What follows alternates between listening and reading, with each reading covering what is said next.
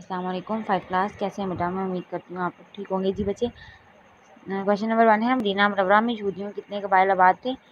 तो देखें मदीना मनवरा में यहूद के तीन कबाइल बनु कैनका बनु नज़ीर और बनु करेजा थे। उसके बाद इंसार के कबाइल कौन से थे? इंसान के कबीले औस और हज़रत थे, ठीक है? दोनों कबाइल के सिर्फ़ आप लोगों ने नाम लिखने हैं। उसके बाद है मिसाक मदीना से क्या मुराद है? सवाल नंबर तीन रसोल्ला सल्ला वसलम जब मदीना मनवरा तशरीफ़ आए तो उस वक्त मदीना मनवरा में मुस्लिम कबाइल आबाद थे। इनमें महाजरीन इंसार, यहूदी और दीगर कबाइल शामिल थे। मदीना मनवरा में यहूद के तीन कबाइल, बनु कैनका, बनु नसीर और बनु करेजा थे, जबकि ज़माना जालियत में इंसार के कबीले औस और हज़रत आपस में लड़ते रहते थे, जिससे ये कमज़ोर हो गए थे। इनके मुकाबले में यहूद ताकतवर और माली तौर पर खुशहाल थे। अलैहि वसल्लम ने अमन बरकरार रखने के लिए मदीना मनवरा के तमाम कबाइल को जमा किया।